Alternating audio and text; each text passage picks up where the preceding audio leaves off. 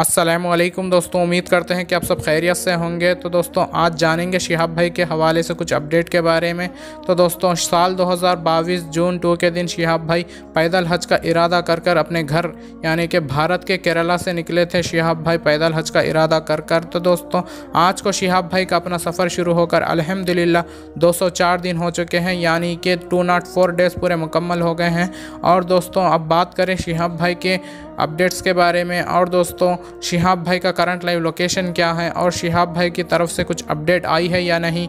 और दोस्तों, शिहाब भाई का सफ़र कब शुरू होगा? शिहाब भाई के सफ़र को लेकर और शिहाब भाई के वीज़े को लेकर तमाम चीज़ों के बारे में आज के वीडियो में डिस्कस करेंगे। तो दोस्तों वीडियो को बिना स्किप किए हुए पूरा देखिएगा। और दोस्तों वीडियो को बिना स्किप किए हुए वीडियो को पूरा देखिएगा। वीडियो को स्किप करेंगे तो दोस्तों, आप लोगों के मन में ये सवाल रह जाएगा कि शिहाब भाई ने अपना सफ़र कब शुरू करेंगे कह के तो दोस्तों, ये डेली अपडेट इसलिए देते हैं कि जो शिहाब भाई के हवाले से जो फेक न्यूज़ें बनाते हैं दोस्तों, लोगों को आपको गुमराह ना कर सकें। इसलिए हम लोग डेली न्यूज़ अपडेट देते हैं शिहाब भाई की बनाकर।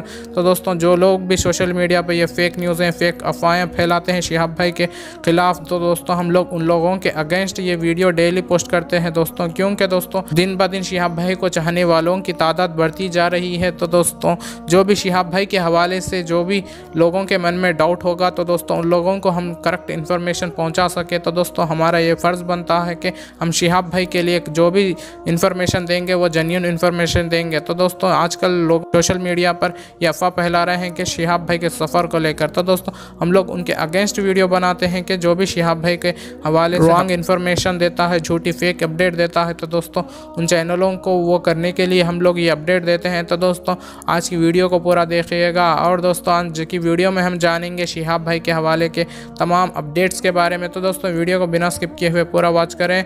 और दोस्तों, जो भी आपके मन में सवाल होगा, जो भी आपके मन में डाउट होगा तो दोस्तों कमेंट में कमेंट्स बॉक्स में आप कमेंट्स कर सकते हो। और कमेंट्स में आपके शिहाब भाई के हवाले से जो भी आपको डाउट होगा इन हम कोशिश करेंगे कि हम सॉल्व कर सके। दोस्तों, जितना हम लोगों को इन्फॉर्मेशन मिलेगा तो दोस्तों, हम कहेंगे और दोस्तों, बात करें शिहाब भाई के सफ़र को लेकर। और शिहाब भाई का सफ़र कब शुरू होगा? कब शिहाब भाई अपने सफ़र की डेट बोलेंगे? क्या शिहाब भाई को वीज़ा मिला है या नहीं? कब मिलेगा शिहाब भाई को वीज़ा? इन तमाम चीज़ों के बारे में अब जानेंगे तो दोस्तों वीडियो को पूरा देखिएगा। और दोस्तों मैं आपको बता दूँ, शिहाब भाई के सफ़र को लेकर अभी तक तो जैसे कि शाही इमाम साहब ने बताया है कि शिहाब भाई के सफ़र को लेकर इन जल्द ही शिहाब भाई का सफ़र शुरू होने की उम्मीद है। दोस्तों, चंद दिनों पहले शिहाब भाई ने ख़ुद बताया था कि उनका पेपर वर्क सारा कंप्लीट हो चुका है। अलहमदिल्ला वीज़ा और रिकमेंडेशन लेटर का जो भी इशू था दोस्तों, वो पेपर वर्क सारा कंप्लीट हो चुका है। अल्हम्दुलिल्लाह वीज़ा अब कभी भी मिलने वाला होगा तो दोस्तों, अब शिहाब भाई को डेट की बात करें दोस्तों। अब शिहाब भाई की सफ़र की डेट बात क़रार नहीं हुई है। जैसे ही कोई डेट फिक्स होंगी तो दोस्तों, हम लोग इन आप लोग के साथ ज़रूर शेयर करेंगे। और दोस्तों, बात करें शिहाब भाई के सफ़र में क्यों देरी आ रही है? क्या शिहाब भाई सर्दी की वजह से अपना सफ़र नहीं शुरू कर रहे हैं? या शिहाब भाई को किस वजह तो दोस्तों, ऐसा तो कुछ नहीं है। इतने सर्दियाँ होने पर भी शिहाब भाई अपना सफ़र जारी रखे हैं।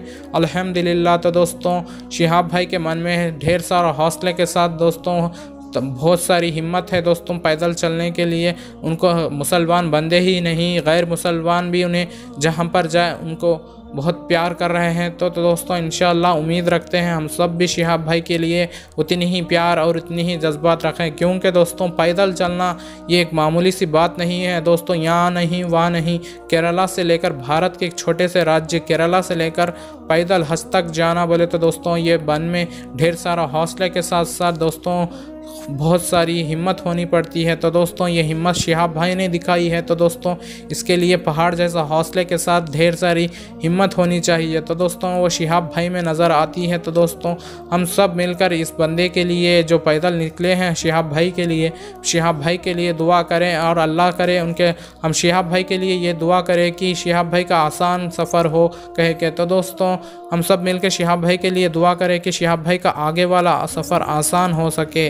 तो दोस्तों, अब शिहाब भाई के हवाले से कोई अपडेट के बारे में जानेंगे तो दो दिनों पहले ने शिहाब भाई कहा तो दोस्तों, अभी तक तो शिहाब भाई के हवाले से कोई क्लियर अपडेट नहीं आई है उनके सफ़र को लेकर या डेट को लेकर। अपने सफ़र की डेट को लेकर शिहाब भाई ने ऐसा तो कुछ नहीं कहा है। इन जैसे कि शाह इमाम साहब ने बताया है, शिहाब भाई का सफ़र दिसंबर के एंड तक कभी भी शुरू हो सकता है।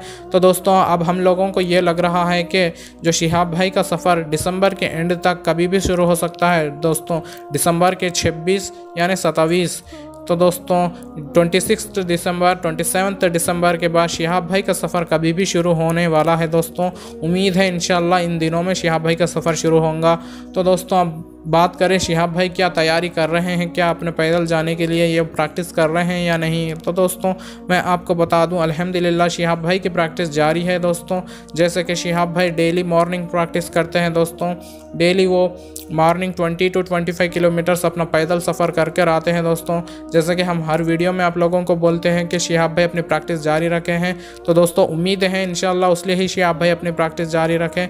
नहीं तो दोस्तों, दो महीने से शिहाब भाई वहाँ पर क्यों रुकते दोस्तों?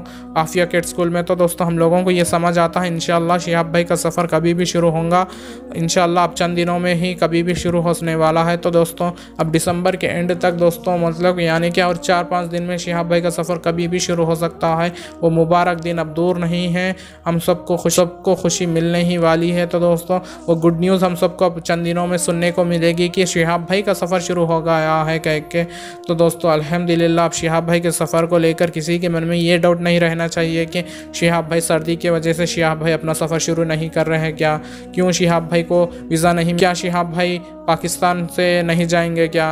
ये तमाम सवाल अपने मन में से हटा दें और दोस्तों इन शिहाब भाई का सफ़र शुरू होगा और वह पाकिस्तान से ही गुजरेंगे, ना ही के चाइना से। इन जल्द से जल्द शिहाब भाई अपना सफ़र शुरू करेंगे। जैसे कि शाही इमाम साहब ने बताया है दोस्तों, शिहाब भाई का सफ़र कभी भी शुरू हो सकता है। तो दोस्तों, उम्मीद करते हैं हम लोगों के शिहाब भाई का सफ़र अब आने वाले चंद, तीन, चार दिन में ही कभी भी शुरू होने वाला होगा। तो दोस्तों, उम्मीद रखते हैं शिहाब भाई के सफ़र को लेकर और शिहाब भाई की जो भी आगे का सफ़र है दोस्तों, उन और अल्लाह उनके सफ़र में आसानी अता फरमाए, कह के हम सब उम्मीद रखते हैं दोस्तों। और शिहाब भाई के हक़ में हम सब दुआ करते हैं दोस्तों।